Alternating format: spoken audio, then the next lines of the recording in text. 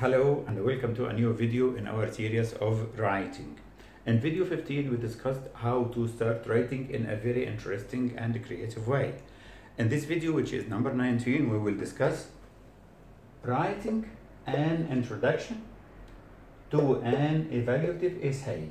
An evaluative essay is an opinion essay. It's a kind of question after which you are asked to give your opinion or to choose one of two opinions. But today I am focusing only on the introduction to that kind of video, uh, uh, the introduction to that kind of uh, writing. Okay, so we can writing uh, we can start writing like this: H G S O P. Of course, these letters refer to words. Of course, I know now that you can guess because you have watched video 15. You can guess that hook, H is for hook. If you don't know what a hook is, you can go back to video 15 and watch it, okay? And I will put the link under this video, okay? After the hook, we must start with a general statement about the topic we are discussing. But of course, we can start sometimes with the general and then the hook comes later. Or we start with the hook and the general comes later. But we should not leave either of them. We should not leave any of them. Okay? After, so this is a general. General statement. In the general statement, you write only one or two sentences related generally to the topic you are going to discuss. Okay? And after that, I want you to guess the letter S. What does it refer to? Yes, it refers to specific.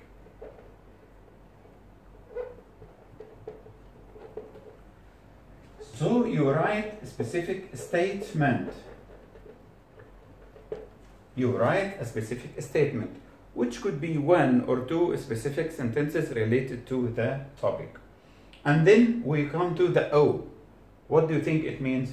Yes, opinion.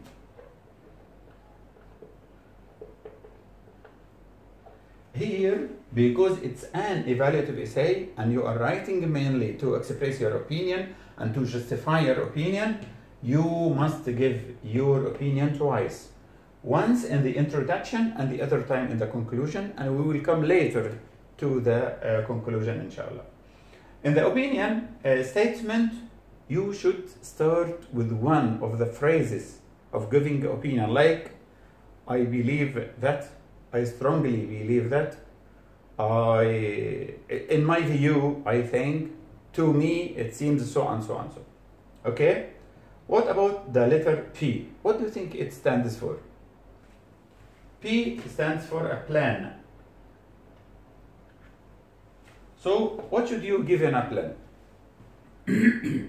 in a plan, you should give the plan for your writing. For example, you can say, this essay discusses the main advantages of the internet, for example. Or, this essay explains why it is very important to have more than one friend. Okay. Or, this essay gives reasons for keeping the environment clean and so on. So, this is our uh, plan of work for writing an introduction.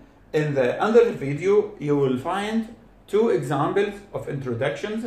I want you to read and reply to me to uh, take out the hook or the general statement, the specific one, the opinion, and the plan. I want you in your comments to read my writing and then to write the hook is so and so and so. The general statement is so and so and so. And uh, I hope that you will do it this way. Thank you very much and I will be waiting for you. I'll be waiting for you. Don't forget to subscribe and give us a like. See you.